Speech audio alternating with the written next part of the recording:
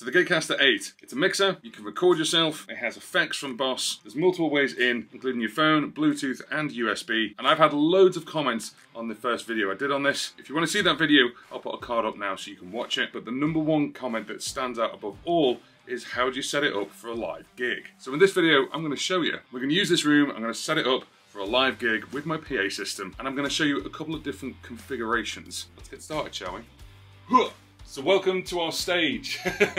this is where we're going to be setting up. Now the first thing we've got is we've got a speaker. This is the Mackie Reach speaker. It's like an all-in-one PA speaker, which unfortunately is discontinued at the moment. They make different ones now. And we've got the Gigcaster, and I've actually got it sitting on like a little laptop tripod stand, which you can pick up from lots of different places. I actually got that off Amazon. Now, the first thing we need to do is actually plug the Gigcaster into power, as well as the PA, and then connect the two. So let's do that first.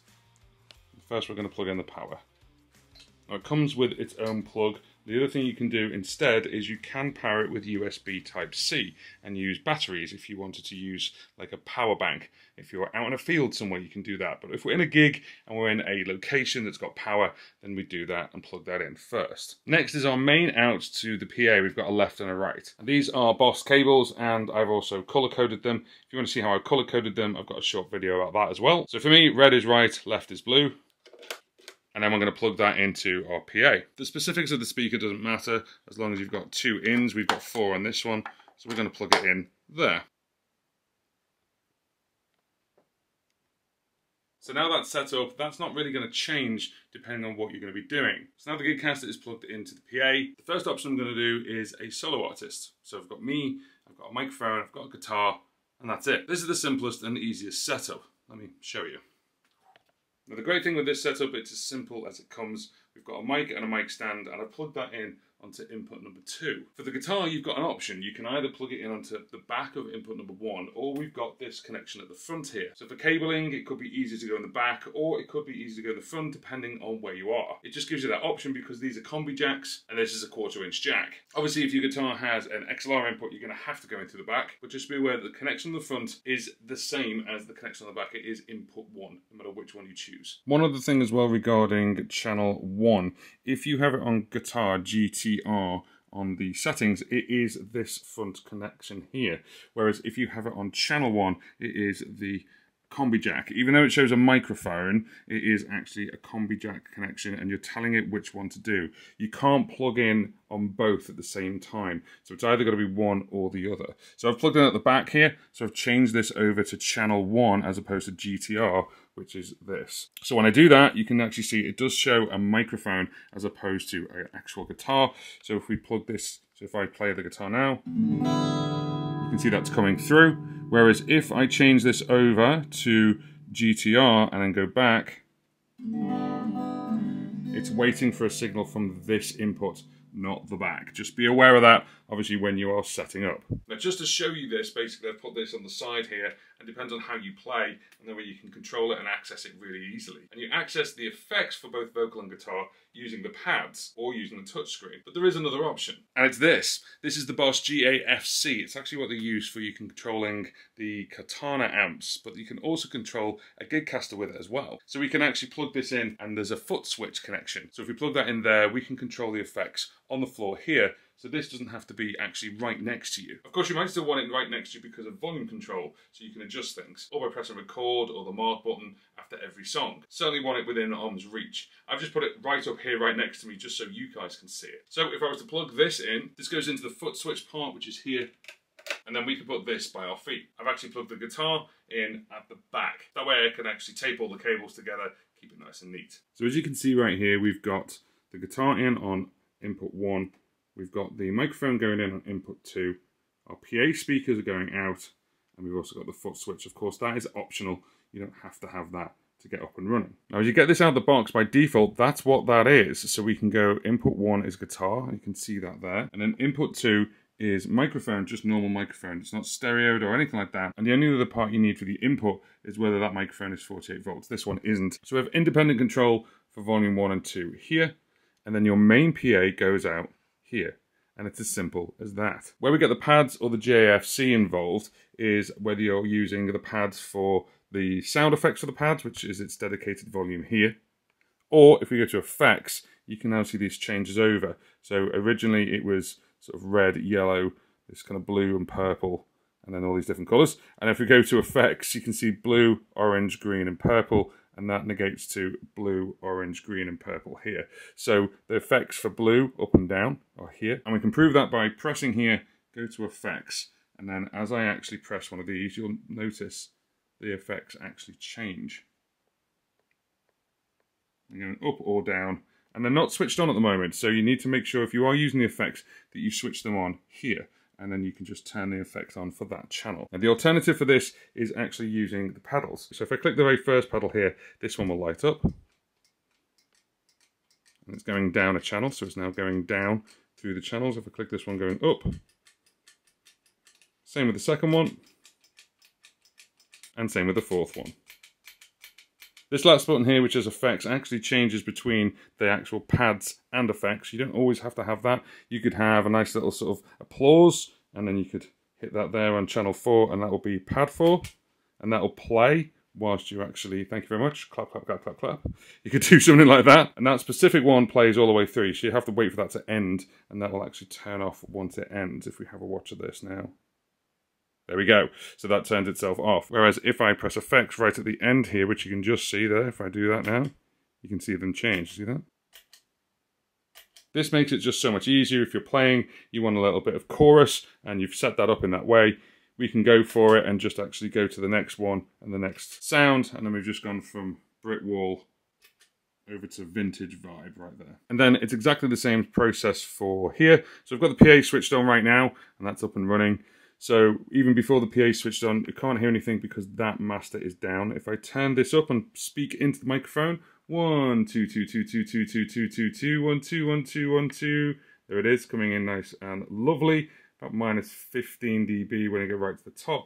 And that's fine because we can click on the second one here and we can go to input and we can see what the volume is. Now the great thing about this is this is where you can change the gain and you can actually add it in. It's got a nice little bar in the middle here to say where the optimal place is. So it's a little bit down at the moment, so let's just turn that up. One, two, two, two. Hello, hello, hello. Hello, hello, hello, hello, hello. So I've got 5, 6 dB. That's quite alright, that's no problem. So if we get out of there now, you can see now one, two, hello, hello, hello.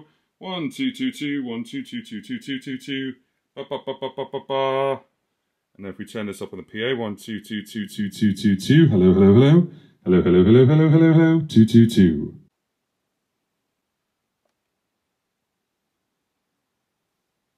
Okay, so here we are. This is our setup. We've got the guitar, the microphone, the gigcaster, and our speaker. Simple. We've also got the pedal on the floor should we need to change the effects. I've set the effects up already, so just so you know, I'm coming in on channel 2 for the microphone, channel 1 for the guitar, and on the guitar I've got a thing called a clean combo.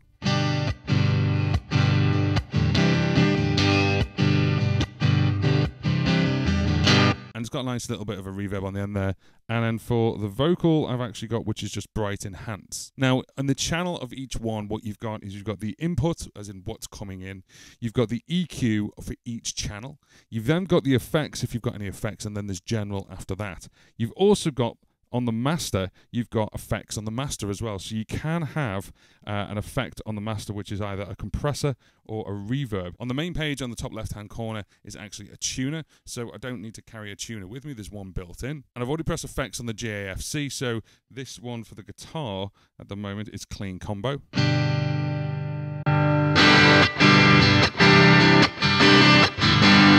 And that's Brit Rock 1978.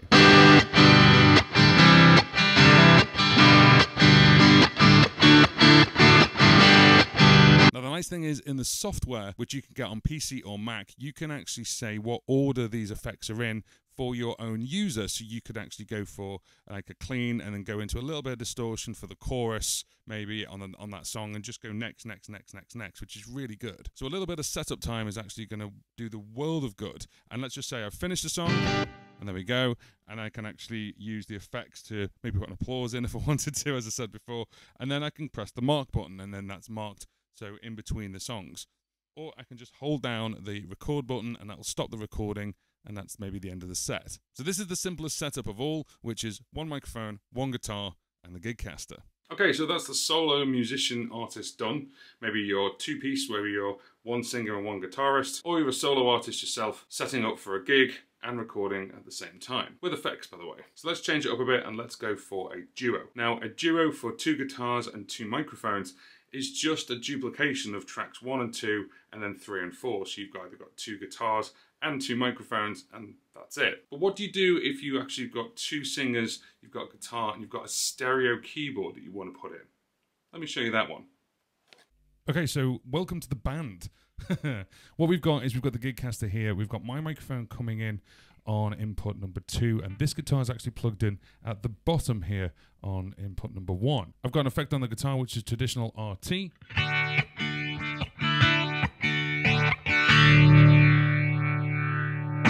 And we've got a little bit of a bright enhance on microphone one, which is on input two. So my microphone is actually on 48 volts phantom power, and that's on channel number three. And as you can see, my guitar is actually on channel number four.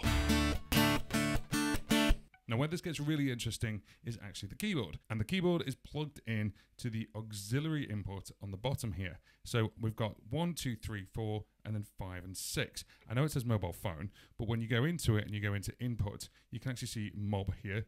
And if you just give this a little play, so this is great. We've got a trio with two microphones, two guitars, and a keyboard. Shall we play something? Okay. One, two, three, two, three.